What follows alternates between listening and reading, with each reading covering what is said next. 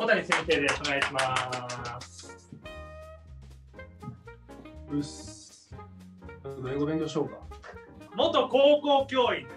元高校教師。そこから今は東京都市大学の先生ということで、すみません、ネタをぶっ込んでいただきましたけど、よろしくお願いします。はい、よろしくお願いします。はい、今回のアジェンダこんな感じです。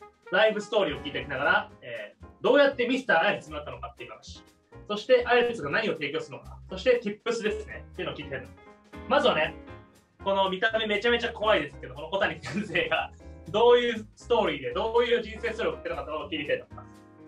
Uh, I was born in Sakai City, Osaka, in 80, I don't know, 1983. 18だからまあまあ、年いってますね。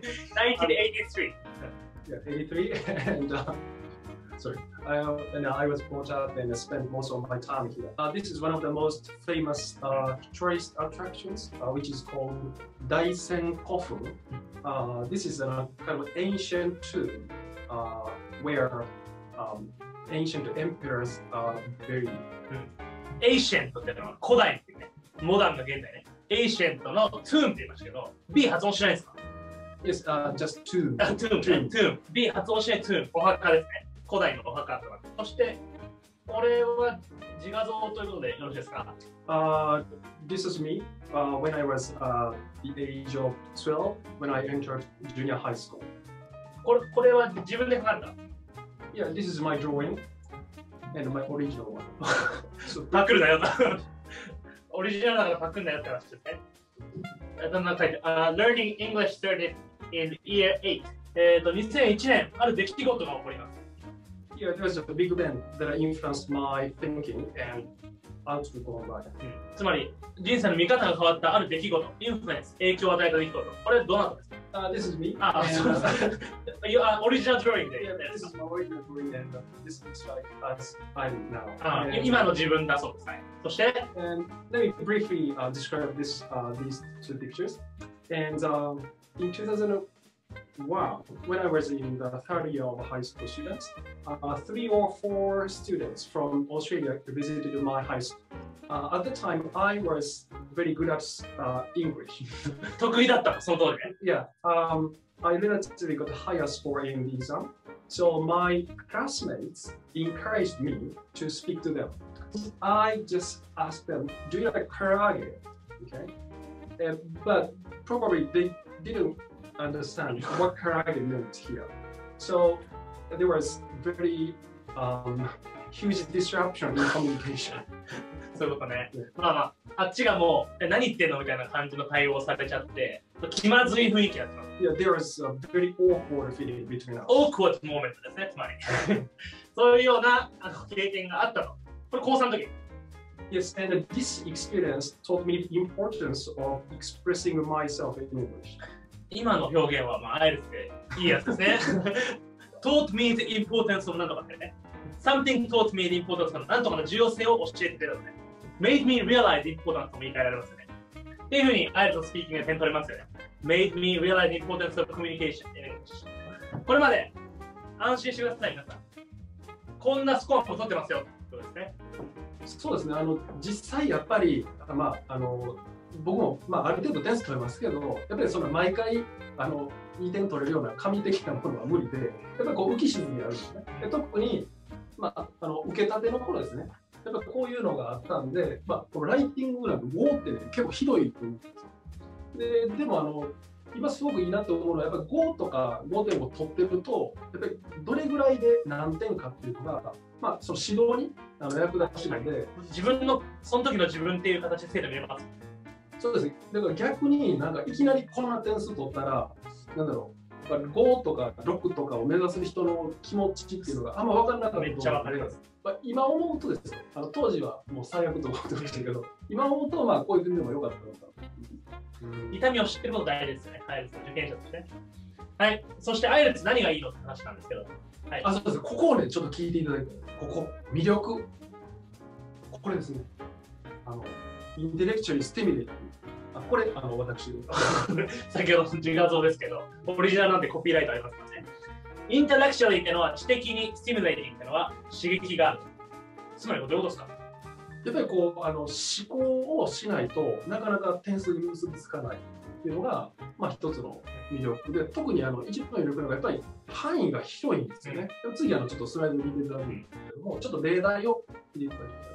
はい、じゃあこれちょっと皆さんに考えていただきたいです。あのこれちょっと見えますかね。Have you ever been to a farm? っていうことで、これあの最近あの出たあ、そうなんですね。トピックなんですね。あの、ファームに行ったことありますかっていう質問ですね。で、ここで大切なのが、これちょっと覚えておいていただきたいんですけど、あの、このファーム、まあ、ここでメインがファームですね。このテーマに関連した表現を使うっていうのが、やっぱりあのスコつまり、ファーム related vocabulary ですね。ア。これ皆さん、あの、これ、まあ、子供がね、あの、乳搾りしてますけど、これ、乳搾りするって出てきますか乳搾りって言えますか？乳搾り。で、ミルクはカーボン。ミルクを動詞で使うってやつ。そうなんです。これね、僕あの2000そうレッサー大学行ってた時に、あの知り合いのイギリス人のあの家に泊めてもらったんですよ。でそこで6歳のキッズいて、でちょっとなんか話してて、イギリスのキッズね、つまり。イギリス人のあの男の子で、なんか学校でしあの遠足行ったみたいな話されて、でどこ行ったのか、ファームで何したのって言ったら、これしたの教えてくれる。ミルクカウしたって言ったんです。でそこで、あミルクって動詞で、いい学びですね。ということで、6歳の本当にキッズに教えてもだから大学では学べないですね、そのフレーズは。大学の先生、ミルクは買うって言わないですよ。でも論文で絶対出てくる。そういうことね。そういうあの生きた英語、関連する生きた英語っていうのを、でもそれどうやって学べばいいですか？こういう単語って。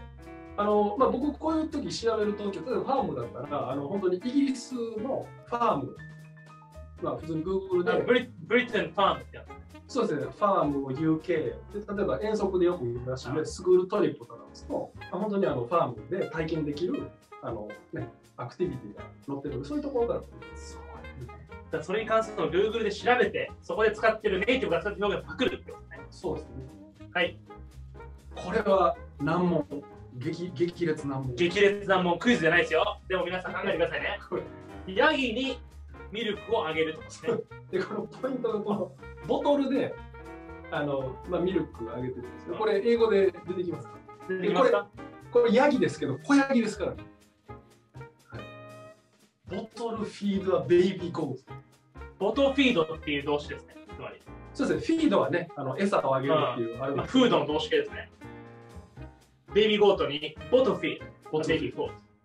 これ激しいでしょ。うん、激しい。こういうの欲しいですね。これはね、おそらくあの、まあ、大学院で修士やっても、あのドクターやっても、多分この単語を見ることないです。でも、アイレスではもう、アイレスでこれ言ったら、まあ、ローフレキンスではかなりいいいいですよね。いや、多分ね、びっくりすると思う。だから、ファームに行った時の経験っていうのを、2 to 3センテンスって考えておく必要がある。こういう表現を使いながら。そうですね、まあ、これはね、ちょっと難しいと思います。こういうのは普通にそのね、さっきのイギリスのキッズでも使うような単語なので、まあ、知っといた方がいいまあこういう関連した単語を覚えておこうということですね。えーっと、今まで出会った中で一番ぶっ飛んでた IELTS の質問なんですか この質問はねえだろうってやつありますか？